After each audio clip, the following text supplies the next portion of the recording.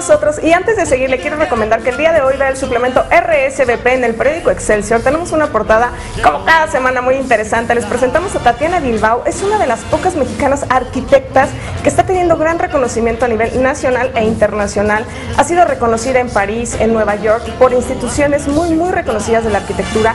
Y ahora nos habla un poco de su vida, de su trayectoria y de un proyecto muy interesante que está haciendo en Veracruz. Ella trae una tendencia muy ecoamigable con las construcciones. Entonces vale mucho la pena que la lean, que la conozcan, porque va a hacer muchísimo ruido en el ámbito de la arquitectura nacional.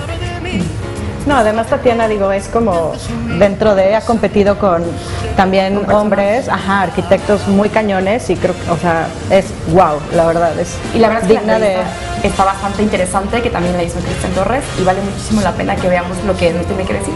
Así es que tómese un cafecito, un chocolatito para el frío y lea Ah, RSVP. y además fue en Veracruz. Ah, y fue en Ah, y Veracruz, fue en Veracruz, entonces este, las fotos también están muy bonitas. ¿no? Sí. Entonces, está padre, está padre, está padre. Bueno, Ajá. aquí más consejos para este fin de semana. Compras nocturnas se podrán hacer en el Might Night Market que se llevará a cabo en el restaurante doméstico ubicado en la Condesa, donde diseñadores contemporáneos ofrecerán sus creaciones.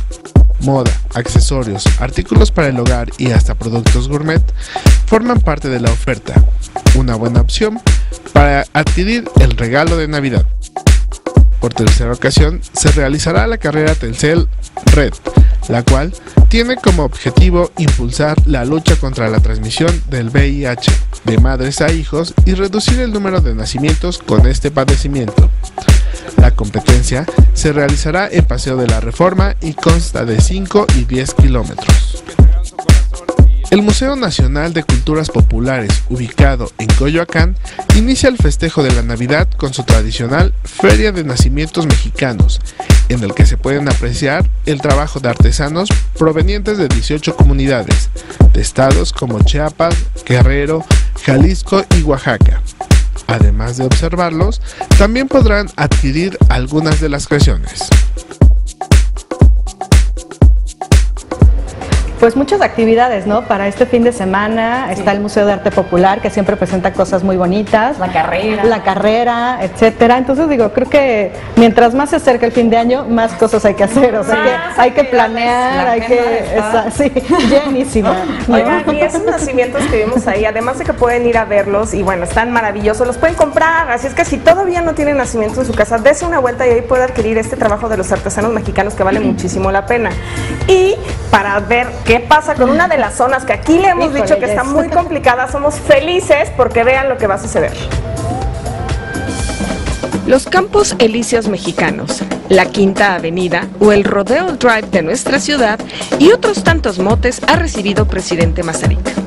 Avenida que es sinónimo de lujo y sofisticación, ya que en sus 30 manzanas que corren de General Mariano Escobedo a Ferrocarril de Cuernavaca, se encuentran las boutiques más exclusivas de moda, arte, diseño y gastronomía.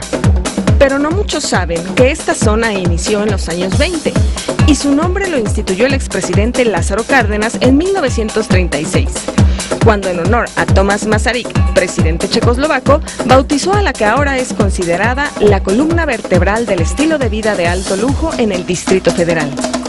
Sin embargo, fue en 1940 cuando inició su historia como corredor comercial, el cual alberga actualmente a firmas como Cartier, Gucci, Bulgari o Hugo Boss, la marca mexicana de platería Tane o bien las de reciente aparición como Prada y Dolce Gabbana.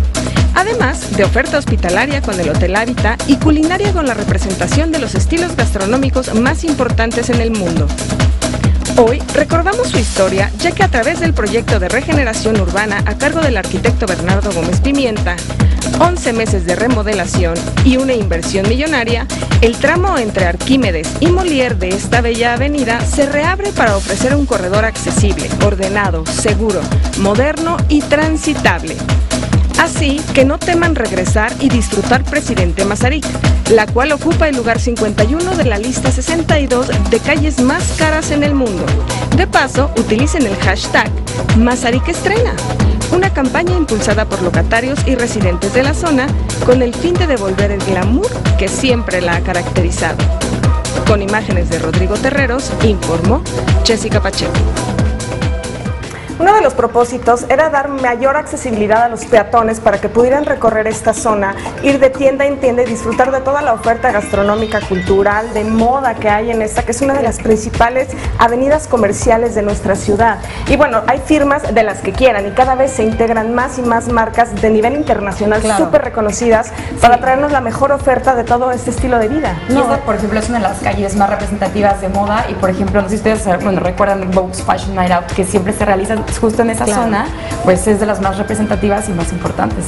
No, y está increíble, ¿no? Porque vemos que pusieron banquitas, o sea, como que para que de verdad la gente se siente, se esté un buen rato ahí, camine, como tú dices, a las tiendas, ya a los restaurantes, que hay una oferta increíble, están de los mejores restaurantes ahí en Polanco. Entonces, qué bueno que después de 11 meses esto ya. Es que si no tienes plan, si no tienen plan, dicen, bueno, voy a Mazarik, hay galerías de arte, hay, no sé, showrooms de muebles donde pueden entrar a ver y darse ideas para remodelar su casa, se toman un café, no tienen que ir a gastar todo el dinero que piensan que se puede gastar en unas tiendas de estos, porque sí son pues, de alto costo, porque es lujo, pero pueden ir nada más como a recrearse la pupila, a divertirse, a pasear con la familia. Ahora ya es mucha más peatonal esta calle, así es que pues vale mucho la pena.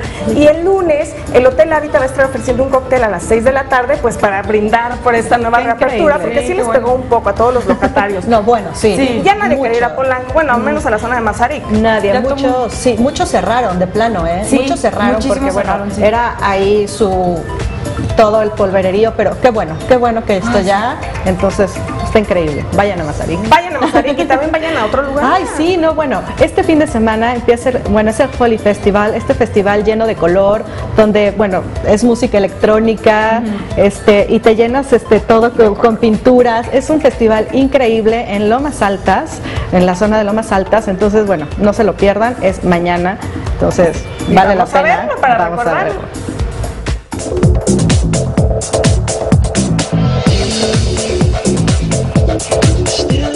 México la segunda edición de Holy Festival of Colors, presentando su gira mundial Be Happy.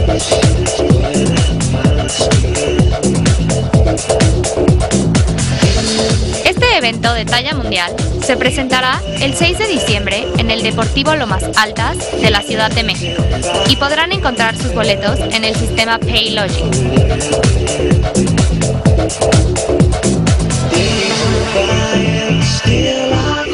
La fiesta en la cual la gente se pinta y lanza polvos de colores llamados gulal, lo que hace que la gente pueda divertirse con un gran line-up de música electrónica.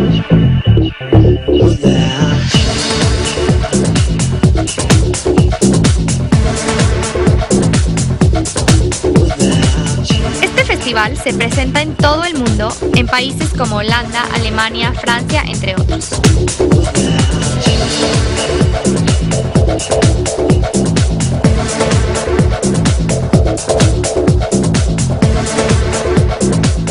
Información de este evento, estén pendientes en holyfestival.com diagonal MX para comprar sus boletos y checar el lineup de DJs participantes.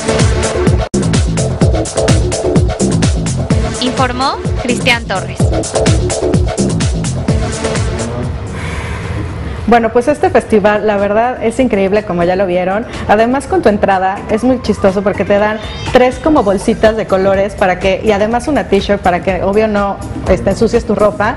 Y bueno, y así te diviertas y lo disfrutes al máximo. Ay, pero sí, sí. de colores. la verdad es que, por ejemplo, a mí me gusta mucho porque esta es una actividad que se hace en la India para dar, dar inicio a la primavera y eh, se ha hecho en varios países. Por ejemplo, Alemania fue el primer país que ya retomó esta actividad y ahorita está haciendo, eh, ahorita está en México y la verdad es que está muy padre, es eh, también con los amigos, es muy interesante, va a haber música, DJs, muy bonito. Ay, qué padre ese dato, no lo sabía. Sí. Fíjate, está súper interesante. Aquí que estaremos recibiendo la Navidad, el Estaremos recibiendo la Navidad, el frío. A ver, el costo me parece de unos 700 pesos. Si tienes eh, oportunidad de que te den tres bolsitas de colores, ¿no? Y su playera. Así es que, y además en el escenario ya aspersores que te llenan de color. Así es que de que sales pintado, sales pintado y muy divertido. Pero nosotros hasta aquí llegamos con las recomendaciones de esta semana. No se olvide que el próximo viernes le vamos a tener más ya muy cerca de la Navidad. Pase buen fin de semana. Te invitamos a seguir cuestionando la información con los siguientes videos.